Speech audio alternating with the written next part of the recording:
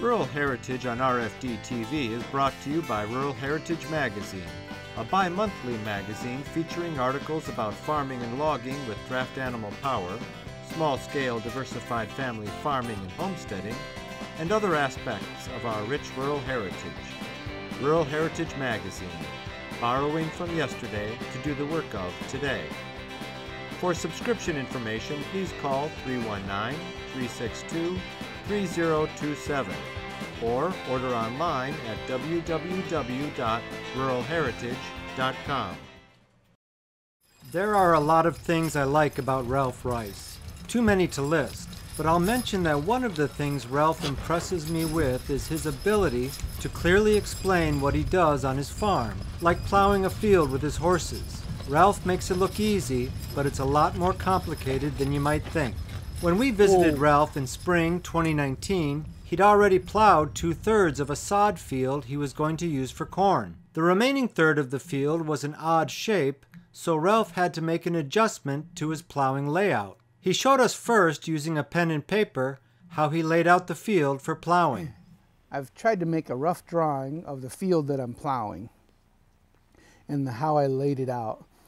Um, this field is about um, 200 feet wide. From here to here is about 200 feet.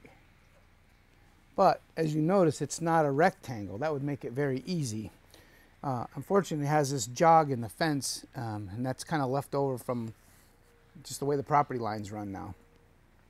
So what I do when I lay out a field, I make 25 paces. I start at the fence because obviously that's the straightest.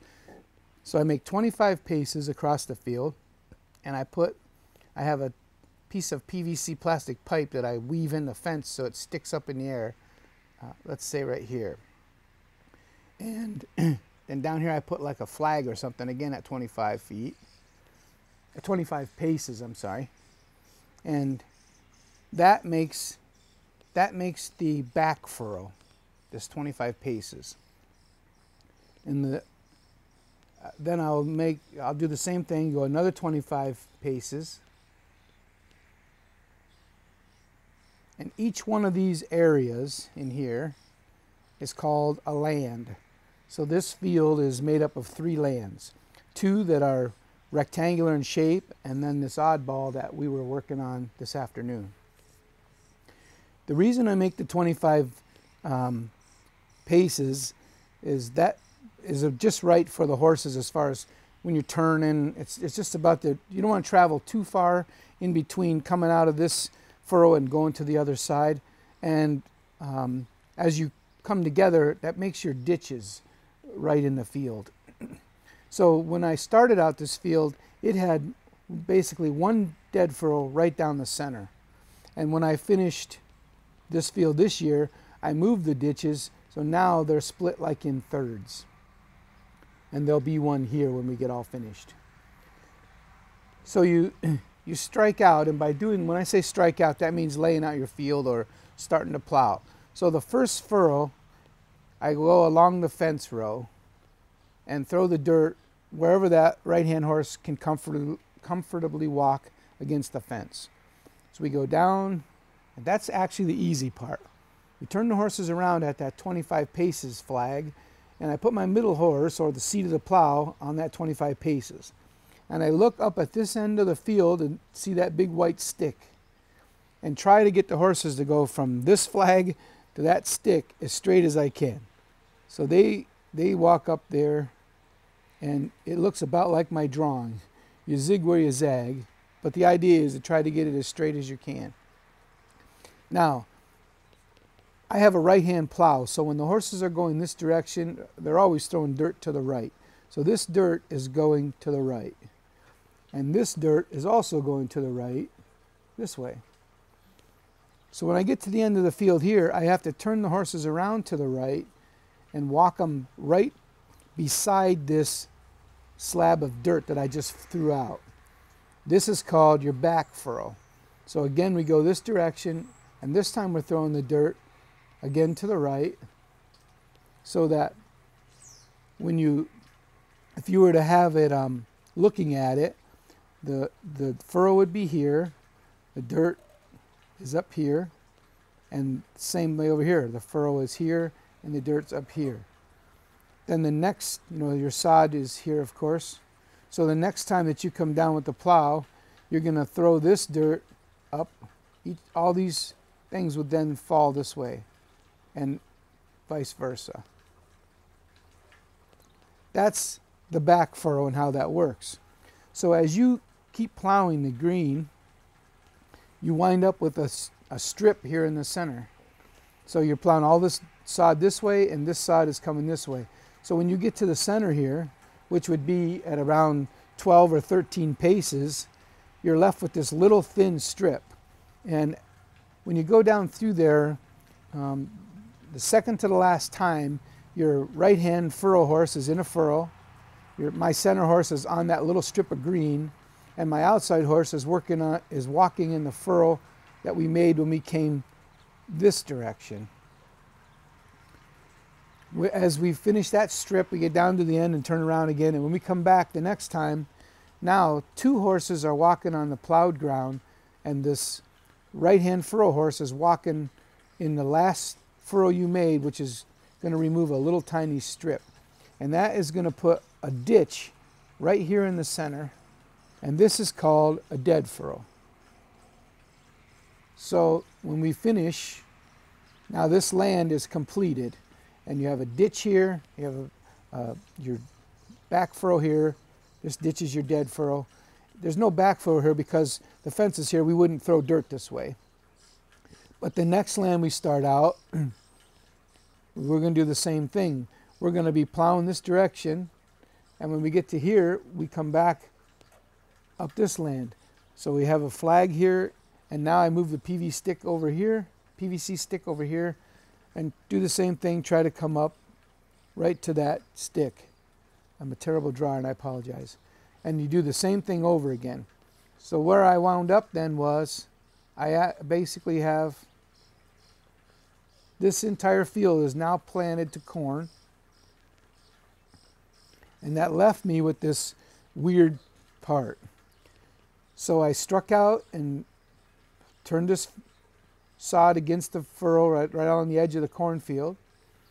And here I had to figure out how am I going to make, I'm sorry, how am I going to make, what am I going to do when I get here? Well, my drawing isn't quite right because this is a little more pronounced, this angle. It looks more like a rooftop. This kind of comes out here more and then in. So what I did, I walked over 25 paces I kept doing it until I hit the 25 paces, at which point I made a mark and I stuck my pipe down here on the fence so that I still wind up, hopefully, starting in when I'm finishing this corner will wind up so that I still wind up with a nice rectangle as much as I can. So I'm plowing up and I'm coming down and I'm walking in a lot of grass here until I get where the furrow starts. But as I continue to plow this, it will eventually make it so that I'm all the way against the fence and only a small strip of grass will remain right up in here. But all of this will be plowed and with any luck at all, I'll wind up so that I have a ditch right here. This will be my dead furrow right in the center of this land. Probably something like that because as I run out of fence, then my rows are going to get shorter. It'll be more like plowing this much.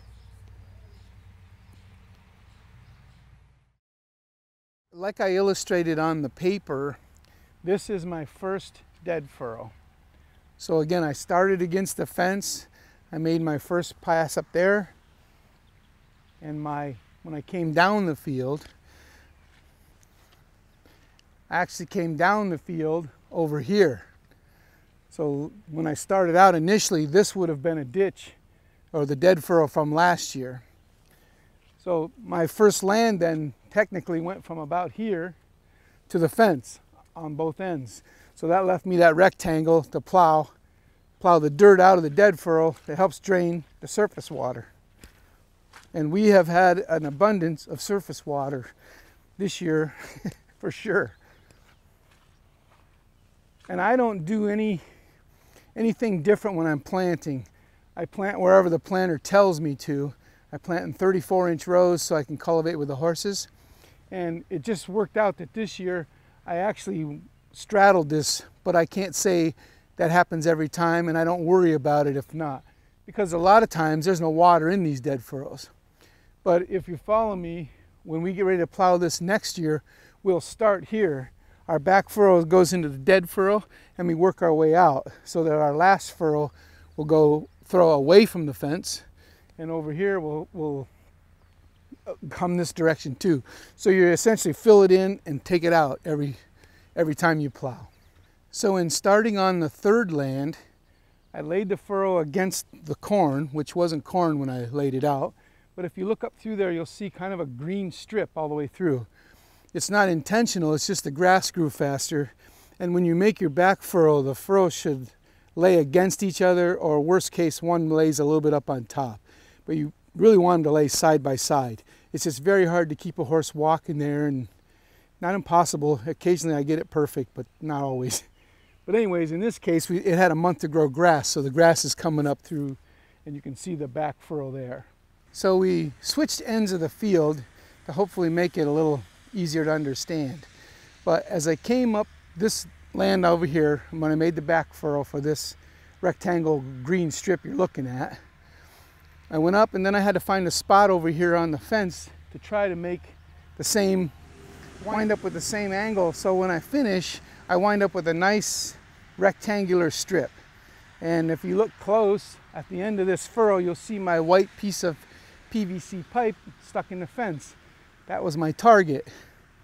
And if you look a little close, you'll see I headed down through there and then I said, oh, I'm not close enough. So I made a left turn and I got a little bit of a, um, kind of a curve I got to work out.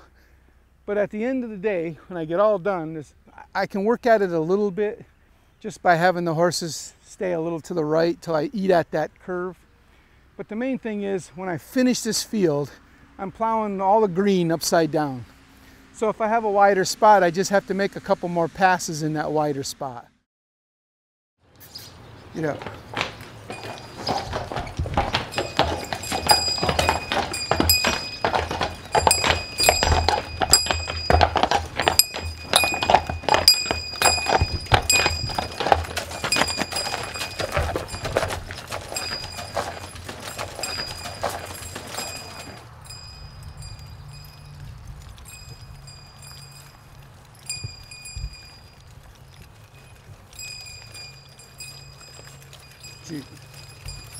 Get over.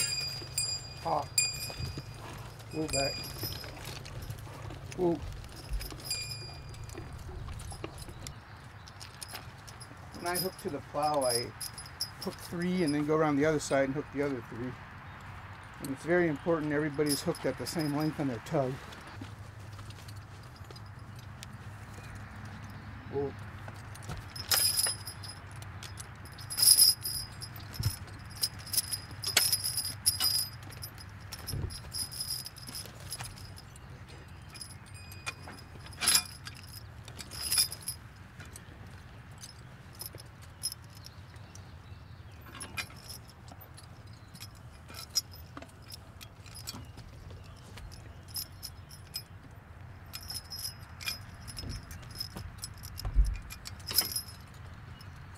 Get out.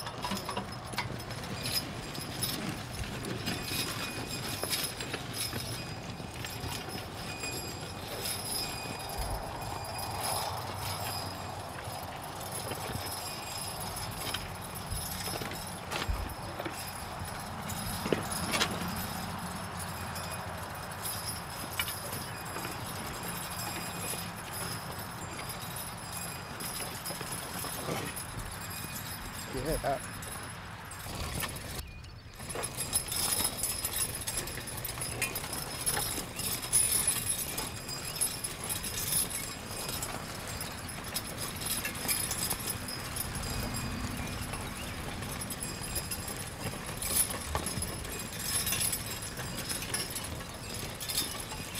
Whoa.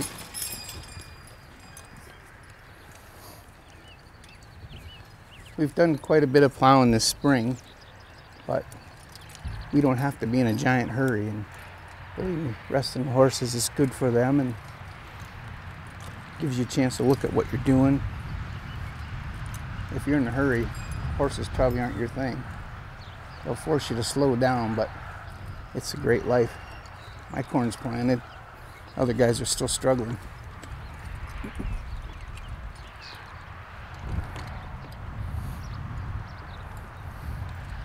We've had a day off because of the rain, so they're full of it, but still behaving. when you get to the end of the furrow, you have to grab the handle and uh, raise the plow up out of the ground. So I switched the horses to one hand so I can use my other hand on the handle.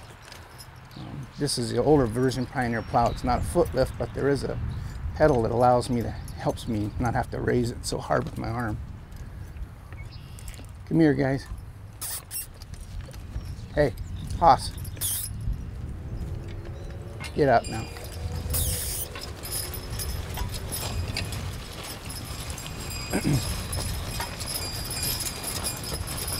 Come here.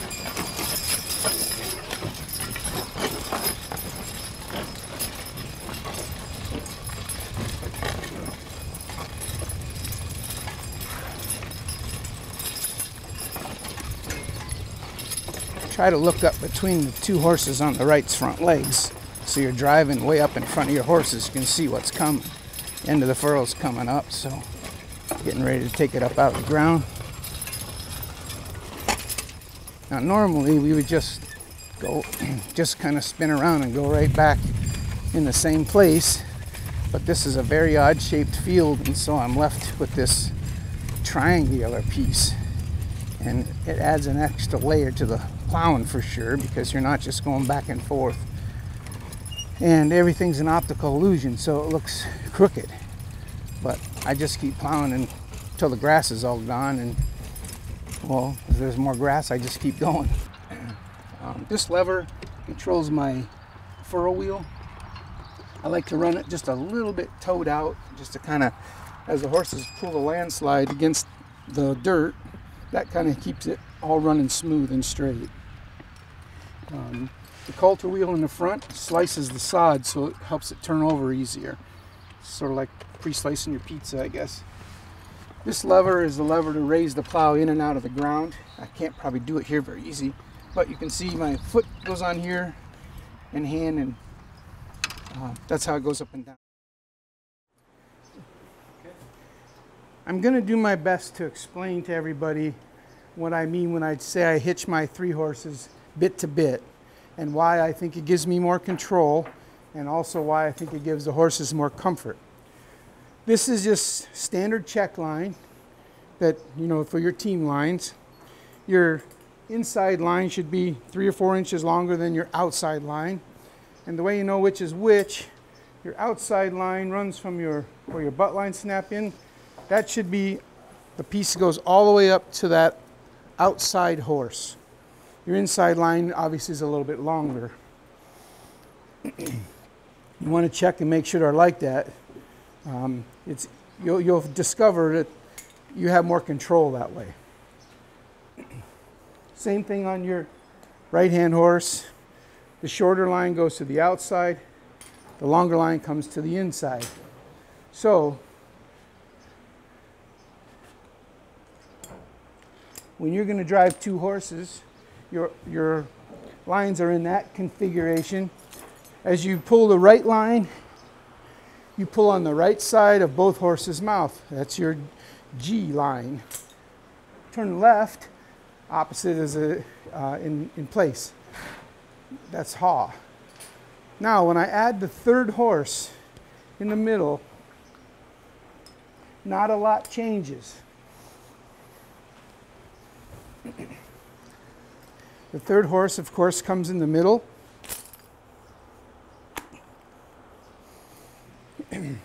the team lines that went to the out the inside of your horses now go to your middle horse. You don't even have to adjust the line because the spacing doesn't change. You're adding a horse, but the spacing doesn't change. What does change a little bit is these straps here. These are just straps that I made up that gives the spacing between the two horses. And they're 18 to 20 inches. You have to kind of play around a little bit till you, you get each horse so they have it figured out. And then you connect those, these straps, the short straps, to the inside bit on both of your outside horses. Now, nothing has changed. When I telegraph to the horses that I want them to make a right hand turn, I'm going to pull on my right line, which will pull on the right side of the center horse's mouth, the outside of the right hand horse's mouth. Again, no changes. When they turn right, the horse on the left, he's already heard me say gee, he knows what's coming. And as he as they turn, he turns right with them because this is snapped into his bit. They're keeping the same spacing. The same left and right. Unlike a jockey stick, I put my colts in the center. The reason is I have 100% of that colt at all times. I have a gelding or whatever, broke horse on either side. They pretty much aren't going to do anything. She has to do what they do. now, I don't start a three horse hitch with a super green horse, but believe me, Abby didn't start working the three horse hitch until the very end of March, like the last two or three days in March. So she's worked March, part of April, and May. And you've seen how she was today. Most of that is because my geldings are broke. They know what's going on. She's a quiet horse, but it's also because I have control. She has to learn voice control because the geldings either push or pull her around a little bit until she does. And secondly, I'm driving her every step of the way. When I say whoa, I have a 100% a hold of her. The geldings, of course, I have control, but not as much as I have on the center horse. So in this configuration, set up the way I do, center horse, you have the most control. There are other methods with three lines. Some guys use two lines and uh, tie back to the hames. I'm not going to speak bad about any of those. I'm just going to say this one, in my opinion, gives me 100% control and it's very comfortable on the horses. Sure, they're going to wear a little bit of skin and it's a long way from their heart. They're not going to die from it. But it's not as hard as a jockey stick poking and pulling and yanking on them. The same thing when you have a line horse tied back to a hame, it's the same thing. You, they can't feel you through the lines like they can on this. And when your right hand or left hand horse turns, they're not getting the pressure as quickly at the bit, they're getting it more mid body. So I'm not going to say a horse won't learn that. I'm just saying if you haven't tried this, try it. Two straps is all you need to go from two to three. And they're little, I mean, a hame strap would probably do it. You'd have to check. But I had those made and I put extra holes in them so you can adjust in or out depending on what you need. Um, if you were going to use it in a carriage or something like that, you can actually fine tune that a lot more by um, adjusting your lines back here if you would need to, or the, the ones in the front. I've found out that this works perfect on everything. Three horses in the forecart, three horses in the power cart, three horses in the wagon with a wagon three horse evener, and of course plowing with no tongue, no neck yoke, and you saw them perform today. Thanks for joining us today at Rural Heritage and RFD TV, where we borrow from yesterday to do the work of today. This program is available for purchase. To order your copy, please call 319-362-3027 or visit www.ruralheritage.com. Rural Heritage is a bi-monthly magazine dedicated to draft animal farming and logging, as well as other aspects of our rich rural heritage. It is published by Mischka Press, which also offers a complete line of Back to the Land books, DVDs, and calendars. Call or write for a catalog or subscription information, or visit our website at www.ruralheritage.com.